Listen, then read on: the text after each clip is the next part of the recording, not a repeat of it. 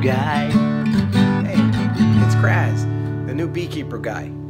Well, one of the first things I needed to do was figure out about protection from bees because, uh, you know, they sting and stuff. And so uh, I, I bought my first thing. So far, everything's been free. I don't even have bees yet. But I bought my first thing a veil and helmet. First step of protection.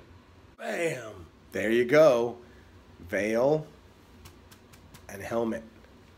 Well, this is uh, it's a pretty nice veil.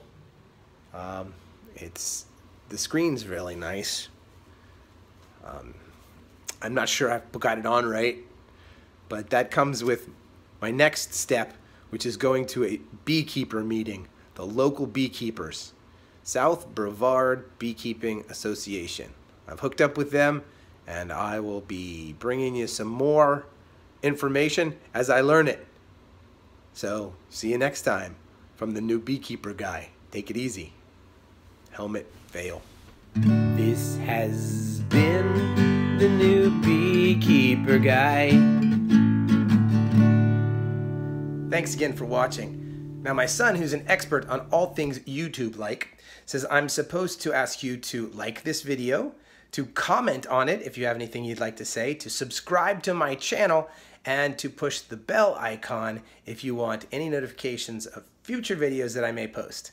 So, why not? And uh, thanks again for watching. Take care.